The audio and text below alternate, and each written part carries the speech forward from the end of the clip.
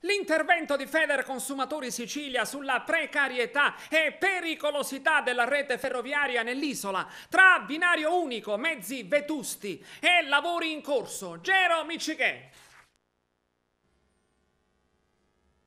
Poco dopo i funerali delle vittime del disastro ferroviario tra Andria e Corato in Puglia, Federconsumatori Sicilia ritiene opportuno sollevare il dibattito sulle condizioni di grave precarietà e pericolosità in cui versa la rete ferroviaria siciliana.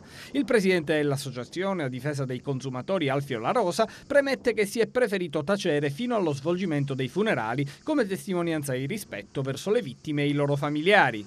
Poi Federconsumatori denuncia la situazione della rete ferroviaria in Sicilia è disarmante e in molti tratti pericolosissima. Tra ponti crollati, smottamenti ma anche tratte ammodernate non ancora riaperte, circa 300 dei 1379 km e l'intera rete sono interrotti, quindi oltre il 20%. La rete delle ferrovie siciliane continua a essere prevalentemente a binario unico, infatti solo poco più del 13% e corrisponde a 190 km della rete ferroviaria ferroviaria il doppio binario.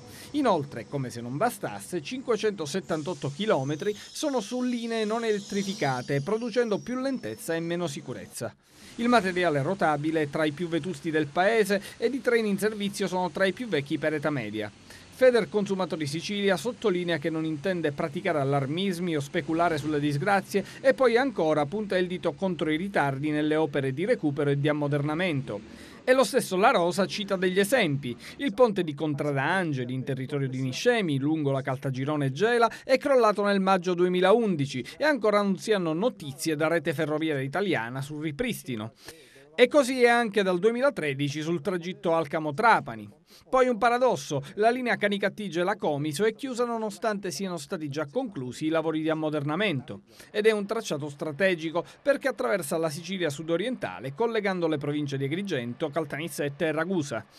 Sono stati già spesi per i lavori 35 milioni di euro per una linea che doveva rientrare in esercizio a fine 2015 e ciò di conseguenza impedisce l'attivazione dei treni regionali veloci Ragusa-Palermo via Caltanissetta.